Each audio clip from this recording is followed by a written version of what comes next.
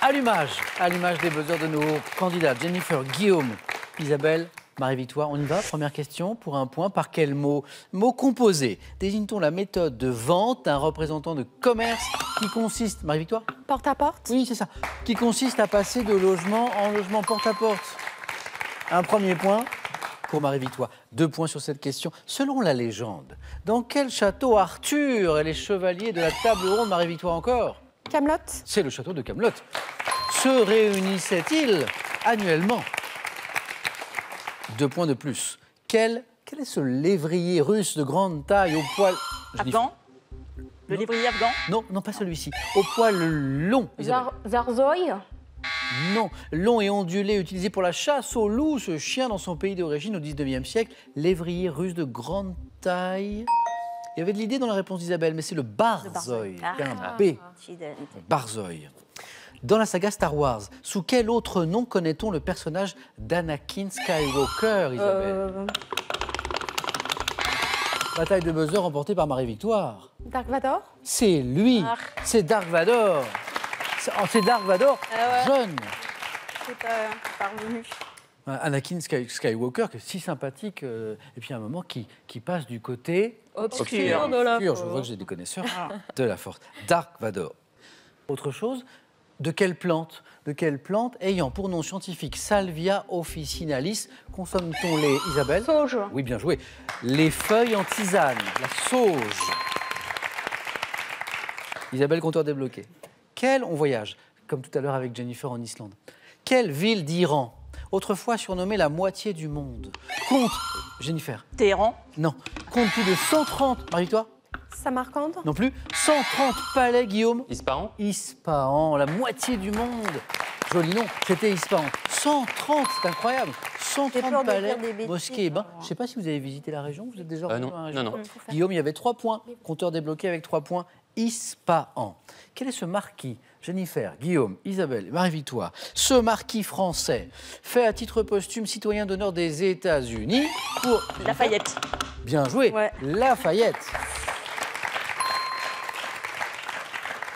Nous voilà, pourrait dire Jennifer, qui vient de débloquer son compteur. hein.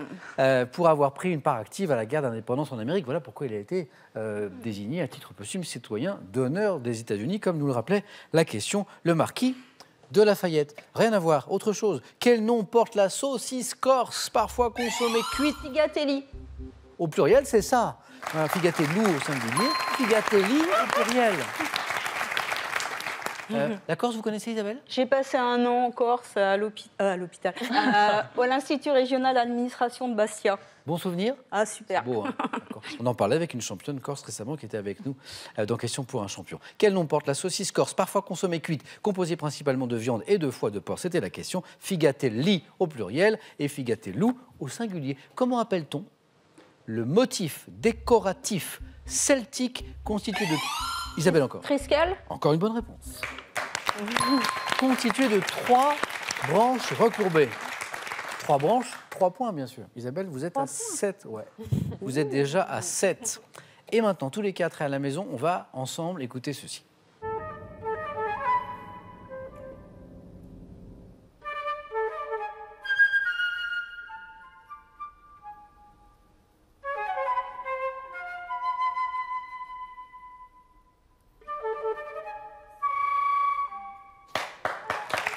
Explication et question. Vous venez d'entendre un extrait d'une œuvre courte d'Olivier Messiaen. Quel oiseau dont le mâle est entièrement noir à part le bec jaune orangé Isabelle Le merle Encore une bonne réponse d'Isabelle qui enchaîne les bonnes réponses. Triskel, Figatelli, le merle. Oui, c'est... On est dans mon jardin des merles. j'ai cru que vous alliez me dire des Figatelli. euh, ah non, non, pas Figatel. des, des merles. Et le, oui, quel oiseau dont le mâle est entièrement noir, à, part le, le bec jaune orangé, a donné son nom à cette œuvre d'Olivier euh, Messiaen qu'on évoquait à l'instant. Le merle noir, c'est le nom de l'œuvre, le merle noir. Bien joué. En 1924, quel roman de Thomas Mann a pour Marie-Victoire? La montagne magique? Oui. à la main et me donne la bonne réponse. C'est la montagne magique. Thomas Mann. Nous répond la bibliothécaire Marie-Victoire. A pour cadre un sanatorium dans la station suisse de euh, Davos. C'est la montagne magique, oui, très bien. Un peu de sport? Non, On est en 2019, là, hein, il n'y a pas très longtemps. Quel Danois a créé la surprise en remportant le championnat du monde de cyclisme sur route à seulement 23 ans? Le nom de ce jeune coureur cycliste danois. J'ai l'impression que je suis en train de parler danois. Non, C'est Mats. J'entends Mats Wilander. C'est Mats Pedersen. Pedersen, ce jeune champion danois. Vous le saurez pour la prochaine fois. Quel nom Quel nom porte l'offre par laquelle une société annonce son intention d'acquérir un certain. Guillaume, Offre publique d'achat OPA, excellent. Offre publique d'achat, son intention d'acquérir un certain nombre de tiers. euh, de titres d'une autre société pour en prendre le contrôle, Euh, une OPA qui peut être euh, amicale ou pas hein, d'ailleurs. Guillaume, un point de plus. On va regarder cette image. Regardez. Quelle est cette pierre composée de silicate d'aluminium fluoré, souvent mordoré ou jaune, qui est particulièrement estimée dans le commerce quand elle est originaire du Brésil? J'ai une pierre. Marie-toi Citrine? Non. Donnez-moi le nom d'une pierre, même si vous n'êtes pas sûr. Guillaume La topaze? Eh ben voilà. Exactement. C'est une topaze. C'est une topaze, bien joué. Deux points, Guillaume. En février 1982, est-ce que vous vous en souvenez? Quel prénom fut donné au premier bébé français né par Jennifer? Amandine Amandine, bien joué. Par fécondation in vitro à l'hôpital Antoine Béclair de Clamart. Trois points. Jennifer, félicitations. Amandine, oui, pour le prénom de ce petit bébé à l'époque, qui est devenu euh, une adulte, bien sûr, depuis. Par quel terme, emprunté au néerlandais, désigne-t-on un navire de plaisance à voile ou à moteur Euh, Marie-toi Yacht oui, c'est ça, exactement, le yacht. Marie-Victoire est à. Je fais un point sur les scores à 7. Isabelle est en tête avec 8. Guillaume et Jennifer ne sont pas loin. 6 et 4. On continue. Quel massif Savoyard, culminant à plus de 3800 mètres entre les vallées de l'Arc et de l'Isère, abrite un parc national, Guillaume Les écrins Non. Créé en 1963. Quel est ce massif, Isabelle Terrasse Non. Ce massif savoyard. Marie-Victoire Les Joras Non plus. Il reste Jennifer. Ah oui. Entre les vallées de l'Arc et de l'Isère, le massif, c'est le massif de la Vanoise Vanoise. le massif de la Vanoise. En 1993, à quel chanteur américain doit-on le tube Are You Gonna Go My Way? Are You Gonna Go My Way? Lenny Kravitz. Excellent, Lenny Kravitz, sans hésitation. 7 points, Jennifer, puisqu'il y avait 3 points à gagner avec Lenny Kravitz. Ah oui, c'est ça, excellent.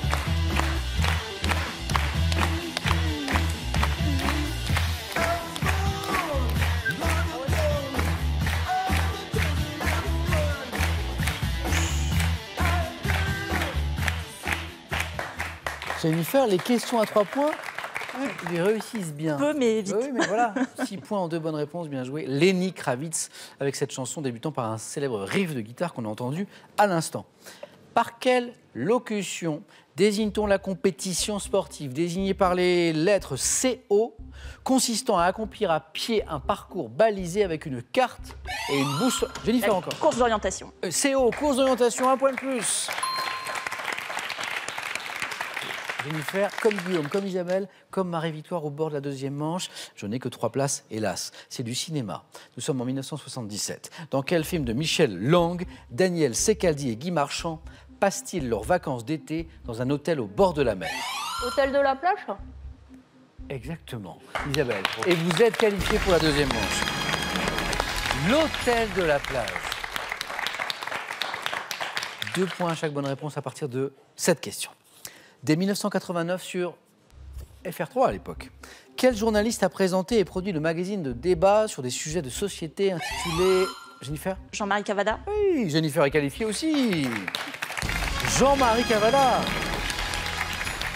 Et oui, le journaliste qui a présenté et produit le magazine de débat, la fameuse Marche du siècle, c'était bien Jean-Marie Cavada. Une seule bonne réponse, voilà ce qui suffit à Guillaume et à Marie-Victoire pour se qualifier pour la deuxième manche. Voici la question suivante. Cavada, ok. En 1844, 1844, quelle invention remplaçant les armoires fortes doit-on au serrurier Alexandre Fischer? Marie-Victoire? Coffre-fort? Coffre-fort est la bonne réponse. Notre championne est qualifiée pour la deuxième manche. Dommage, Guillaume. Dommage. Une seule bonne réponse, c'est tout ce qui vous manque. Bon retour à Merci Lyon. à vous, merci à toute l'équipe. Merci à vous. Ouais. Bon, J'espère à bientôt. J'espère N'hésitez aussi. pas à revenir Ouais. jouer. Et ce cadeau est pour Merci.